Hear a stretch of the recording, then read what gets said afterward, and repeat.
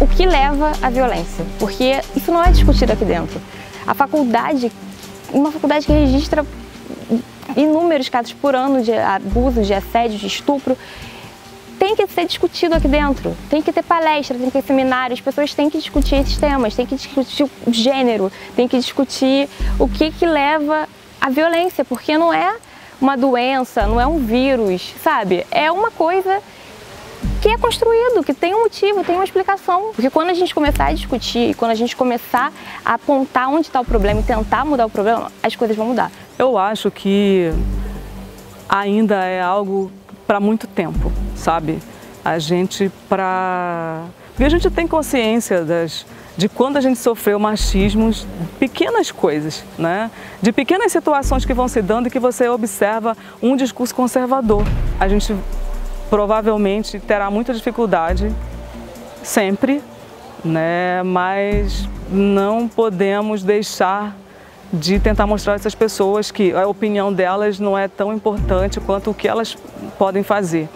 Então a gente tem num ambiente educacional que mostrar aos nossos alunos qual seria a forma mais é, igualitária, vamos dizer assim, né, de se tratar ou as pessoas, de, conversar com as mulheres, de conversar com as outras minorias também. Cada dia a gente às vezes pensa que está difícil, mas é, não pode deixar de ter esperança, mas que futuramente as leis possam ser mudadas. Muito porque até existem leis, mas o judiciário é muito machista, até mesmo as mulheres do judiciário, sem perceber, elas acabam sendo machistas. Então é importante ter esse, esse, esse debate para que as, até as mulheres elas entrem e pensem, caramba, eu tenho que mudar, tenho que fazer diferente, eu não posso acatar, deixar isso acontecer.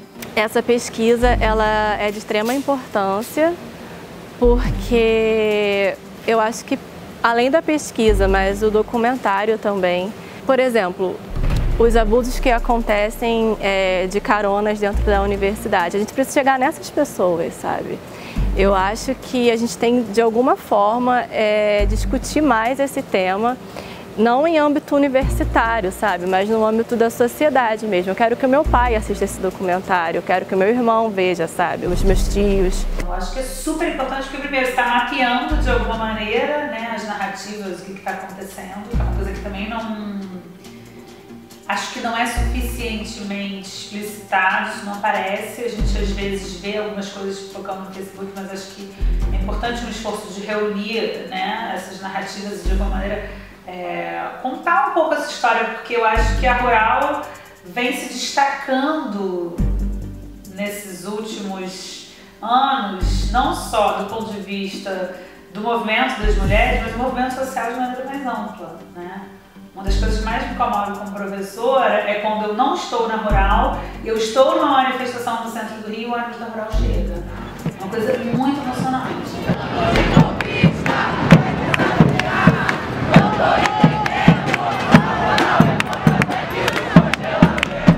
Eu acho que, que um esforço de reunião né, dessas narrativas, desse material, é uma coisa muito importante para a própria história, história universidade. Né?